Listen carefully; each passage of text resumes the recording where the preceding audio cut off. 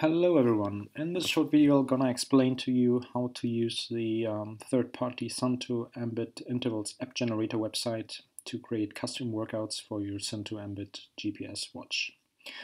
Um, let's say um, the coach has given you a particular interval workout, um, in this example 60 minutes with 12 times 20 seconds strides. I'm just gonna very quickly copy the description I've gotten here. Um, then I will move over to the Suunto Ambit Intervals app generator website. Um, the link to that website will be in the uh, notes to this video. And um, there you have a graphical user interface to create um, your interval workout, and that is very similar to um, what the other websites of Polar and Garmin, for example, offer. So I'll just copy the description to this field here that I know what I'm working on and I can give this workout a name here. So I'll just call it 60 minutes with 12 times 20 seconds strides. Um, then I have a couple of settings down here. Uh, I can say what I want to see when the duration is lap. Distance is fine for me. Uh, you can also um, say what you want to see in the um, target field when um, you don't have a particular heart rate or um, pace target. And um, you have a couple of options here, and let's say just pace is fine in this case. Um, you can use also imperial values here for your forks in the United States. I'm not I'm not going to use that because I believe in the superiority of metric values. Uh, you have a couple of other section, uh, um, options down here. Uh, I think they should be self-explanatory. Uh, and now we're going to create that workout. So uh, I'll just click Add Step here. And it says in the description here 40 minutes easy. So I'll create a warm-up section, distance, duration time, 40 minutes. And since that is a walkout, uh, sorry, a warm-up, I'm not gonna select any target here. Then I will add a repeat for the strides. Uh, we have a repeat of 12. And then I will add the two steps inside these repeats. First one is the actual interval, my strides of uh, a length or duration of 20 seconds. uh, I don't think it's particularly useful to select a, a target um, for these strides, even though they are an interval um, if you want, you could select a pace or a heart rate here. Um, then I will add the um, recovery period of 40 seconds here. And then that is basically um, the repeat I have to create. Then I can add um, a final step for the cool down. And um, now I have already 40 minutes here and then I have 12 times one minute. So I'm already at 52 minutes. And then the coach wants me to run 60 minutes in total. Uh, what I usually do is I create um, a fixed interval of let's say maybe five minutes. And then I add as a final step another cool down uh, with the duration lap so that my run maybe can be a little bit shorter or longer um, than the 60 minutes. Um, so um, the interesting thing is now what has this um, third-party website actually uh, done here and how do we link that to um, to our Ambit watch? Uh, well, if we scroll down a little bit further here, you see actually two fields. Um, one is called Duration App and one is called Target App. And uh, what that refers to is two apps which you have needed to create on your Movescount um, website, so the Ambit Moves Count, Moves Count uh, website. Um, if we go to, oh, sorry, that was wrong here. We want to go to the app designer. Um, you see I have a couple of my apps here and somewhere here I have created um, an interval target app. And on the next screen here we have an interval duration app. Uh, I will open that up here. And you only need to create this two apps uh, once, like the first time you want to create um, uh, any uh, particular interval. Uh, and the description of what you have to do is actually on the third party um, website, you know, under the How tab, How to. Here is the point create Movescount apps. And this gives you all the instructions you need for the interval duration interval target app. And as I said, you only have to do that once and then um, you're ready to go. So what do you actually do? Um, you go down here to your duration app, click the select button. It will mark the code which is created here for the duration app. You press um, the keyboard shortcut to copy it into the clipboard. Then you go over to the Movescount website to your interval duration app, which is now selected here click on edit and you will see there is some code down here and you see a description here and that is actually for a 75 minute uh, workout with 5 times 20 strides followed by 30 minutes of tempo and then um, 4 times 20 seconds strides again. And I will just mark that and override it with um, the code I've just created for the strides. You see it has changed here now. 25 no, sorry, that is actually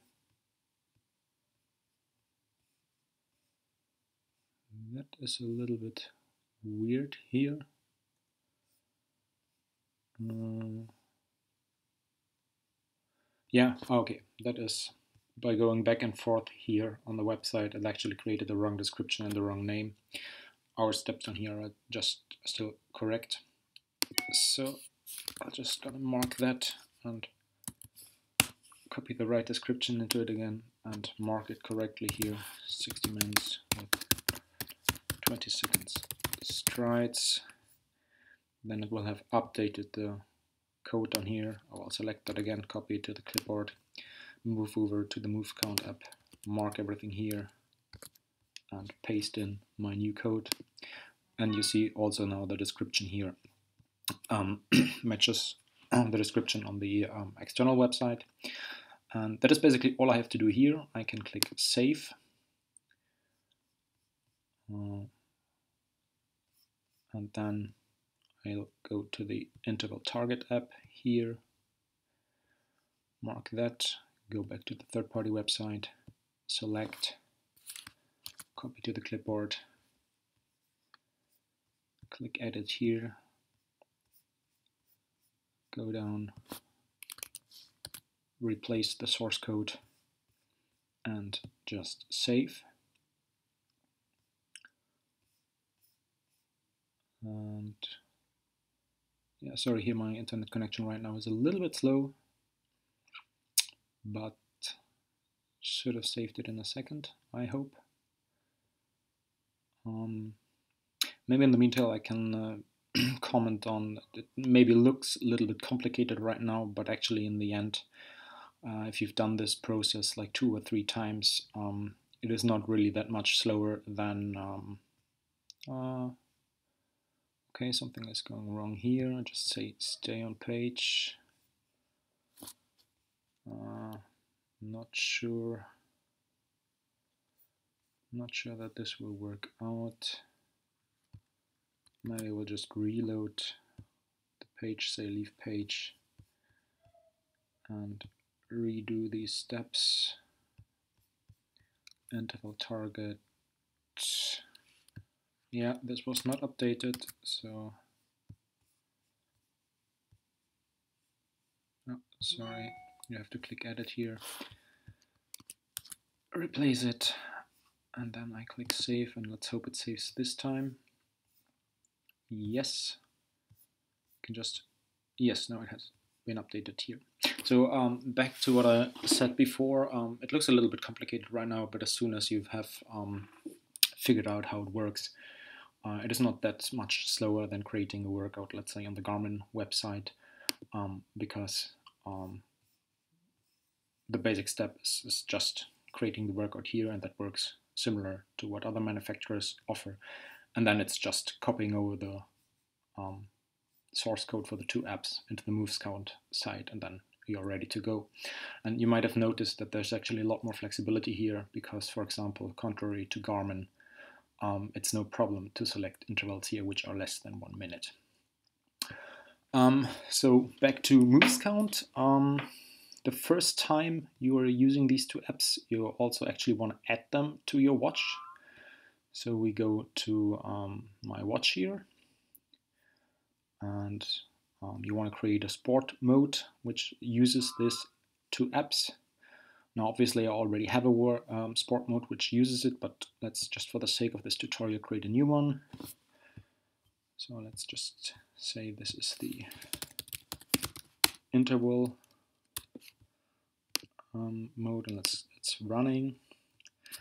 Um, then you can add the different displays here and let's just keep the first one as it is, standard one. You can obviously also change that here, change it to just two or three, whatever you want to do here.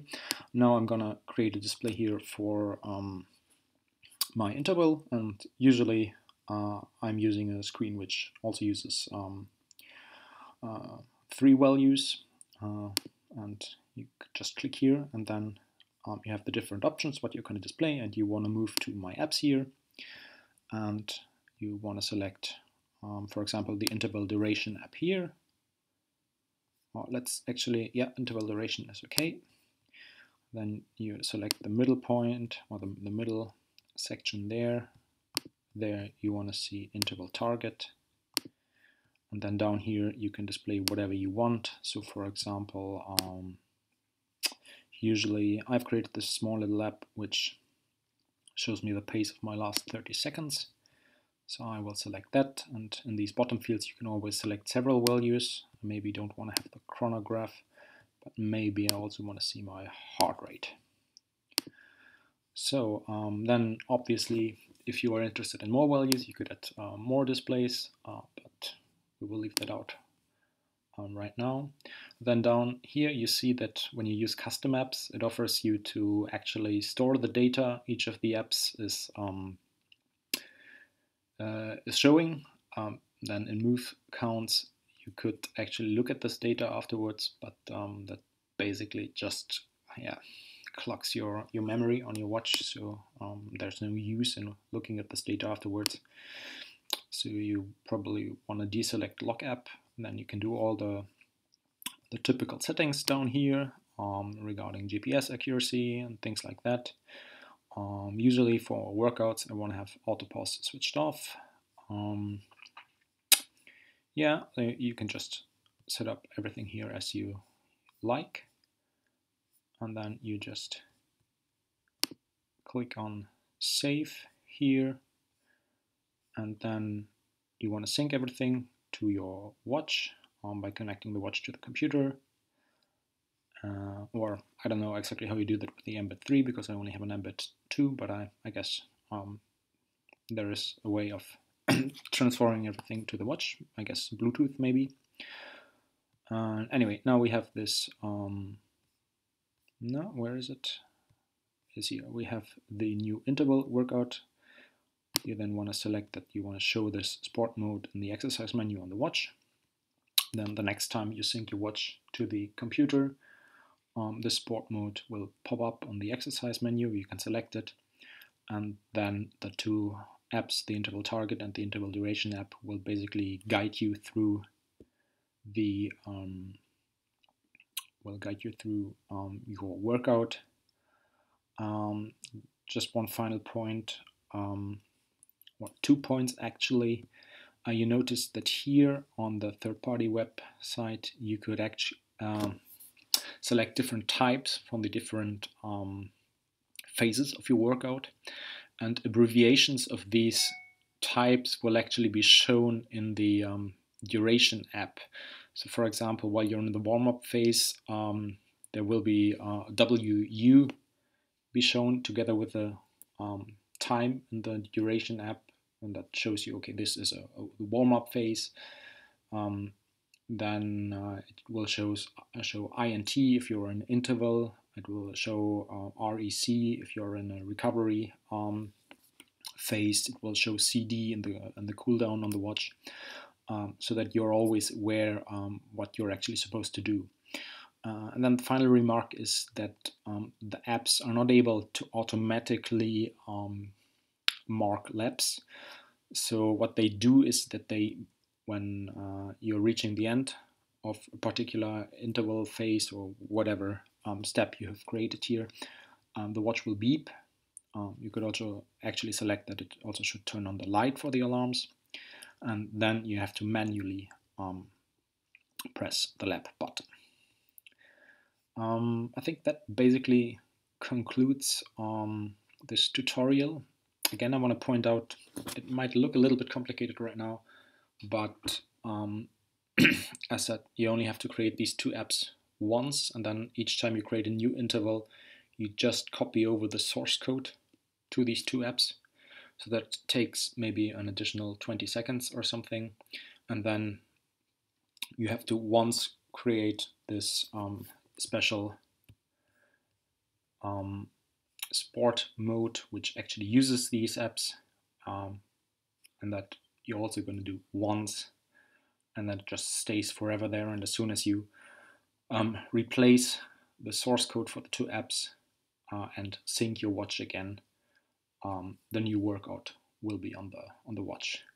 And if you have repeating um, workouts which say you do like every second week or something um, you could obviously also create particularly uh, a special app just for this workout and replace them. But um, yeah, the coach is changing the, the workouts so often um, that they rarely repeat. Um, so I just have these two apps and always change the, the source code. Okay, um, that's it for today. I hope this helps you folks a little bit with the interval app um, I hope to be able to do uh, another tutorial on how to use um, apps for slightly more complicated workouts uh, anytime soon. Bye bye.